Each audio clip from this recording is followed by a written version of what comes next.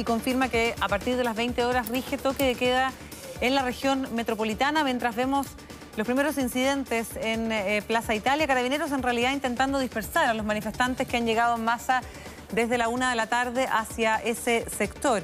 El general Iturriaga además ha señalado que no corresponde especular sobre una frase eh, señalada por él esta mañana respecto a que es un hombre feliz y que no está en guerra con nadie. Y muy por el contrario, dice, entiendo mi cargo y la autoridad también que representa el presidente.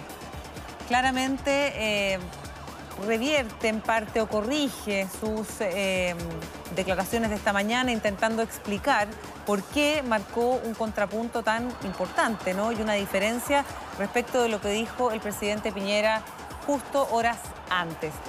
Bien, queda claro entonces toque de queda en la región metropolitana a partir de las 8 de esta noche hasta las 6 de la mañana del de, eh, martes 22 de octubre, correcto, ya nos empezamos como a, enredar con los días, pero eh, es eh, evidente ¿no? que esta situación tiene que ver con la seguridad, es lo que ha dicho también el general Iturriaga, él tiene la convicción, según sus propias palabras, de que es necesario continuar con esta medida de restricción de movimiento, desplazamiento y reunión, mientras no se solucionen los problemas que han provocado las protestas en Santiago.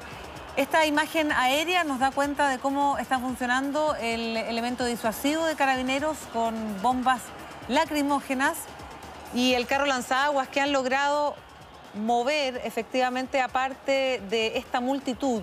Y vemos también, usted ve ahí una mancha con personas vestidas de blanco. Bueno, son eh, personas que representan a la Cruz Roja que están en ese lugar y lo han estado durante los últimos días, eh, algunos de ellos eh, ayudando a las personas precisamente para enfrentar los elementos disuasivos que usa Carabineros, que son estos gases y que provocan em, muchos problemas respiratorios, en fin.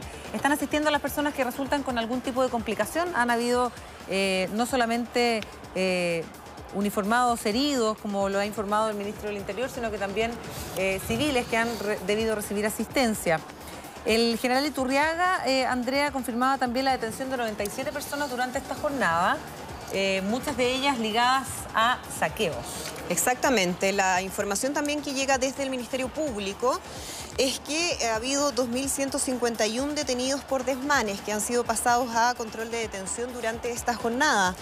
Eh, en total son 921 detenidos en la región metropolitana y 215 en el resto de las regiones, lo que ha implicado también un desafío para la Fiscalía en términos de eh, reforzar con fiscales eh, todas estas audiencias de control de detención. Hay más de 200 fiscales que entonces han apoyado estos procedimientos durante la jornada que tiene que ver con estos mismos hechos que mencionamos, ¿no? principalmente saqueo u otro tipo de acciones eh, de violencia o disturbios. Son casos eh, que se contabilizan dentro de esos 2.151 detenidos. La imagen aérea entonces, por una parte de lo que está ocurriendo en el sector de Plaza Ñuñoa y también lo que está sucediendo en el sector de Plaza Italia, que hasta hace un par de minutos estaba totalmente tranquilo, ahora ya con algunas situaciones esperemos que sean hechos completamente aislados y puntuales. Quedan cuatro horas para el toque de queda, eh, cuatro horas para que las personas regresen a sus casas. Eh, hay problemas obviamente con el metro, es evidente. La línea 1, que es la única que está parcialmente operativa, ha cerrado además varias estaciones.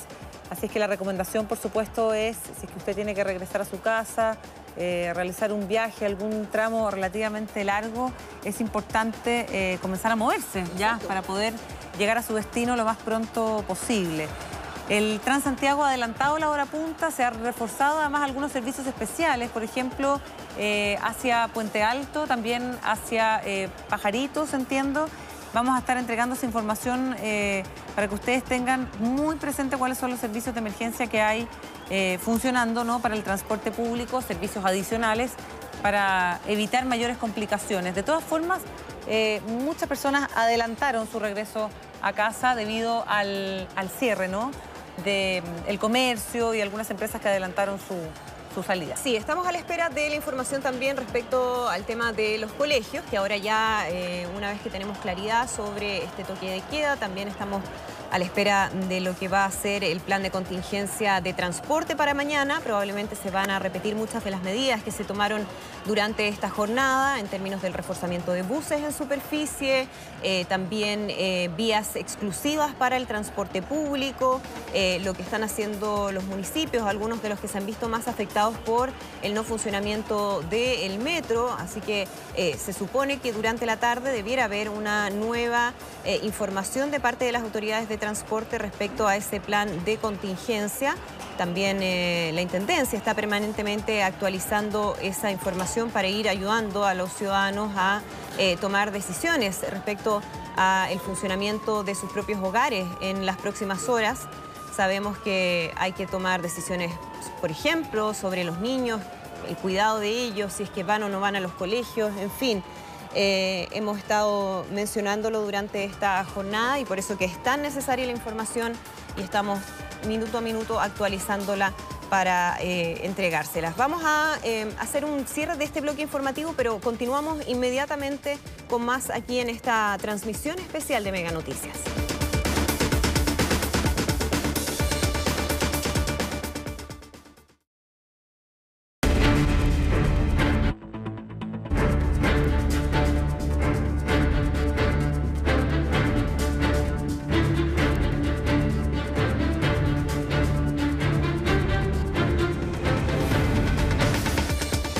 Seguimos con esta transmisión continua de Mega Noticias en todas sus plataformas para llevarles a ustedes la información de lo que está ocurriendo en esta nueva jornada, este día lunes, donde hace solamente conocíamos de parte del jefe de la Defensa Nacional, el general Iturriaga del Campo, la decisión de mantener el toque de queda para la región metropolitana durante esta noche a partir de las 20 horas y hasta las 6 de la mañana. Exactamente, hasta las 6 de la mañana se requiere un salvoconducto para... Eh, transitar durante la noche, salvo las personas que necesitan viajar. Y, por ejemplo, también funcionarios de la DGAC, de la Dirección General de Aeronáutica Civil. Basta solamente la credencial y las personas que viajan tienen que mostrar su ticket aéreo. Eso también han dicho eh, las autoridades, sirve como una, un salvoconducto. Vamos a actualizar la información de Metro de Santiago, algo que habíamos eh, anticipado, que podía ocurrir.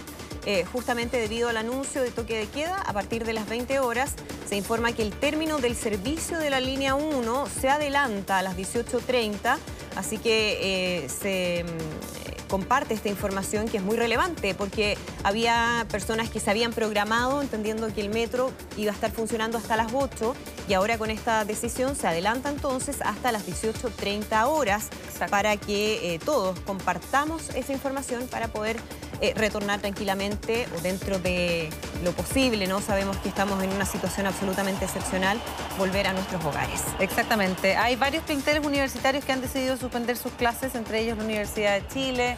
Hablábamos también de Infocap, que también había decidido suspender sus clases hasta el jueves en sus sedes de Concepción y de Santiago. Exacto. Y tú tenías también, Andrea, otros planteles. Vamos a, ver qué decide la ministra de Educación la intendenta en realidad sobre las clases a nivel regional.